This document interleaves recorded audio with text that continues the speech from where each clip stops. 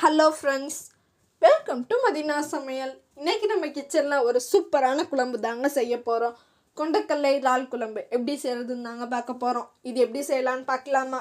இன்னைக்கு நம்ம வீடியோவில் ஒரு சூப்பரான ஹெல்த்தி டிப் நான் இன்னைக்கு உங்களுக்கு சொல்ல போகிறேங்க வீடியோவை ஃபுல்லாக பாருங்கள் ஸ்கிப் பண்ணாமல் பாருங்கள் வீடியோக்குள்ளே போகிறதுக்கு முன்னாடி மறக்காமல் மதினா சமையலை சப்ஸ்கிரைப் பண்ணிடுங்க பக்கத்தில் உள்ள பெல் ஐக்கனை கிளிக் பண்ண மறந்துடாதீங்க. வாங்க வீடியோக்குள்ளே போகலாம் கொண்டக்கல்லை இறால் குழம்புக்கு தேவையான இன்க்ரீடியன்ட்ஸ் இந்த கப்பில் முக்கால் கப் கொண்டக்கல்லையை அஞ்சு மணி நேரம் ஊற வச்சு ஒரு விசிலுக்கு வேக வச்சு எடுத்திருக்கேன். பெரிய வெங்காயமாக இருந்தால் ஒன்று சிறுசாக இருந்தால் ரெண்டு எடுத்து நீளமாக கட் பண்ணிக்கோங்க. ரெண்டு தக்காளியை மீடியம் சைஸாக கட் பண்ணிக்கோங்க. ஒரு உருண்டை புளி. மீன் குழம்பு புளி குழம்புக்கெல்லாம் எந்த மல்லித்தூள் ஆட் பண்ணுவீங்களோ அதை ஆட் பண்ணிக்கோங்க. மல்லித்தூளில் வந்து மஞ்சத்தூள் ஆட் பண்ணியிருந்தீங்கன்னா ஆட் பண்ண வேணாம். இல்லாட்டி மஞ்சத்தூள் அரை டீஸ்பூன் குழம்புல ஆட் பண்ணிக்கோங்க. அரை கப் இறால். பத்து பல்லு பூண்டு. மிளகாய்த்தூள் புளியை நல்லா தண்ணி ஊற்றி கரைச்சிக்கோங்க. அதில் ரெண்டரை டேபிள் ஸ்பூன் மல்லித்தூள் சேர்த்துக்கோங்க.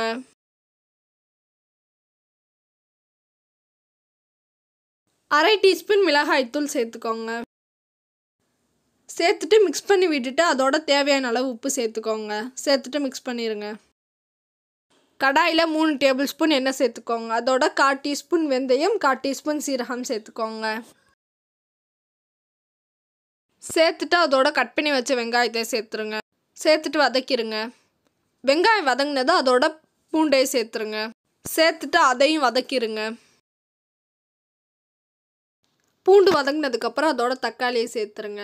சேர்த்துட்டு அதையும் வதக்கிடுங்க அதோட தேவைக்கேற்ப காரம் சேர்த்துக்கோங்க. நான் வந்து அரை டீஸ்பூன் சேர்க்குறேன்.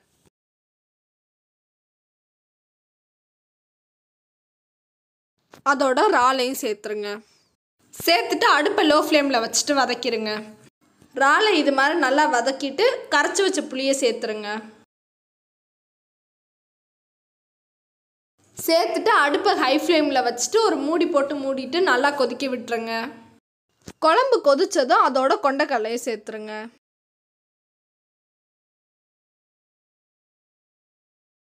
சேர்த்துட்டு மிக்ஸ் பண்ணி விட்டுருங்க. மிக்ஸ் பண்ணி விட்டுட்டு அடுப்பை மீடியமான ஃப்ளேமில் வச்சுட்டு ஒரு பிளேட் போட்டு மூடிட்டு ஒரு பத்து நிமிஷத்துக்கு வந்து குழம்ப கொதிக்க விட்டுருங்க.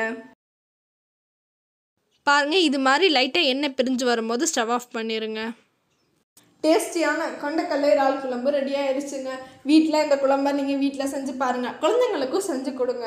செஞ்சு பார்த்துட்டு எப்படி இருந்துச்சுன்னு எங்களுக்கு கமெண்ட்லாம் சொல்லுங்கள் இன்றைக்கும் நம்ம வீடியோவில் ஒரு சூப்பரான ஹெல்த்தி டிப் நான் இன்றைக்கி உங்களுக்கு சொல்ல போகிறேங்க அது என்ன ஹெல்த்தி டிப்னா சர்க்கரை நோய் உள்ளவங்க கொய்யாப்பழம் சாப்பிட்டா ரொம்ப நல்லதுங்க. கண்டிப்பாக இந்த டிப்பை ட்ரை பண்ணி பாருங்கள் இந்த வீடியோ உங்களுக்கு பிடிச்சிருந்தா மறக்காம மதினா சமையலாக சப்ஸ்கிரைப் பண்ணிடுங்க பக்கத்தில் உள்ள பெல் ஐக்கானை கிளிக் பண்ண மறந்துடாதீங்க.